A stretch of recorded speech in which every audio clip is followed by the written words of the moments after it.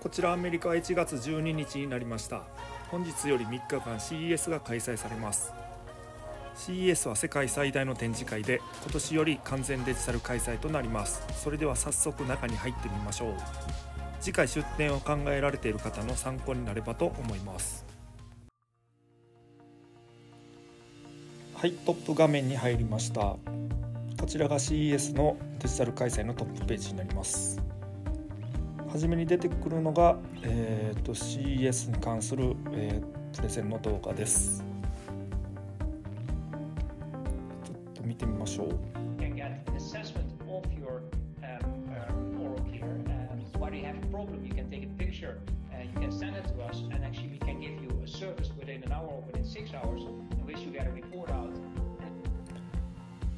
このように、えー、CS に関する動画が流れてます。他にもえシャークタンクが始まりますといった告知の動画もありました。シャークタンクは、えーと、日本でいうとマネーの虎のように投資家にプレゼンして投資をもらうような番組です。ではちょっと下に行ってみましょう。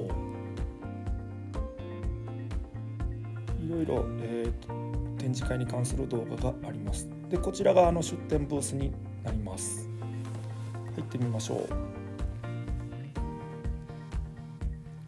検索ができるようになってます。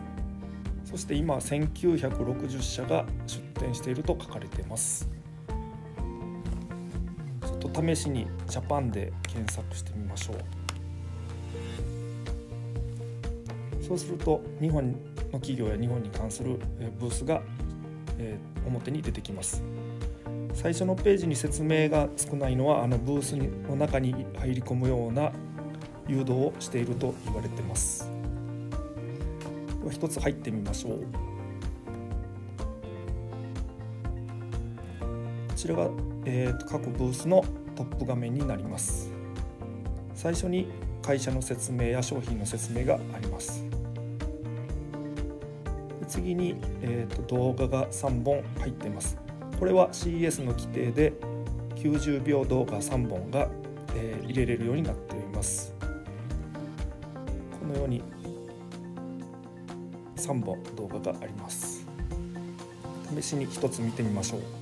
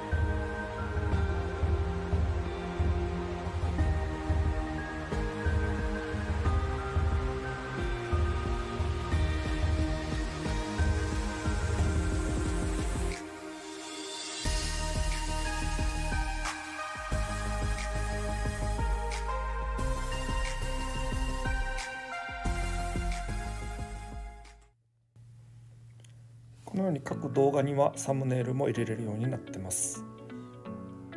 なのでマーケティング上動画の質や分かりやすさあとサムネイルといったところのこだわりが、えーと、いろいろな企業の契約を取れたりというチャンスを増やすことになります。でその下に行きますとチャットで質問できるようになってます。これがブースの構成になってます。1960社の出展者は全てこのような形で表現されています。なので、えーと、中に入ってみないとわからないといったところが、えーと、今回の CS の特徴になってます。できるだけ中に入って、えーと確認してもらうようになってます。そのため動画の作り方またサムネイルも合わせてですけどもしっかりと作っていかないとビジネスにつながるチャンスをつかむことができないというような流れになってます。えーと、来年出店を検討されている方がいましたら参考になればと思います。それでは